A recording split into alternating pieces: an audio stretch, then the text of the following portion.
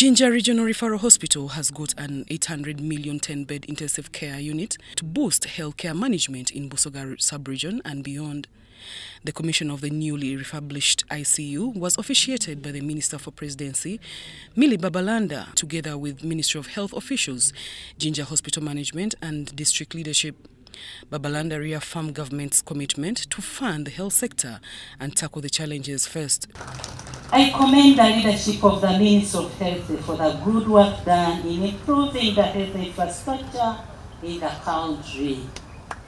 Some good work has been done at each referral hospital in the country and at the lower health centers. You have equipped the hospitals with CT scans, which have been quite expensive to access in the private family facilities. This is a very big milestone in the health sector. Now we are left with the MRI machines. If these are installed in the government hospital, it will go a long way to turn around healthcare provision in this country. The Director, Curative Services at the Ministry of Health, Dr. Charles Olaro, assured the people of Busoga region that most of the specialized services can now be found at Jinja Referral Hospital. We are cognizant that this region does not have a blood bank. We've finalize the one in Soroti, we've done one, bring one in Arua, bring one in Muhima.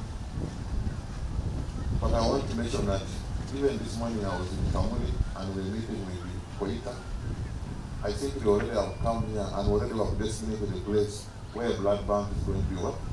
Constructed. and not only a blood bank, but we want to build the blood transfusion services across the what?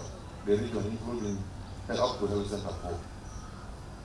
So we really, so that we can be able to address that. We know definitely the region is challenged, apart from accident, there's high burden of malaria, there's sickle cell, also there's need for blood as well. But at the same time, I also want to put an appeal to the population that we should be able to donate. Jinja Regional Hospital top management appreciated the gesture by the Minister of Health for the new ICU, but also highlighted some of the challenges they are still grappling with, like lack of perimeter wall fence, human resource, among others. Jinja Referral Hospital serves close to 4.5 million people from 11 districts of Jinja, Mayuge, Iganga, Luka, Kamuli, Namayingo and Bugweri among others.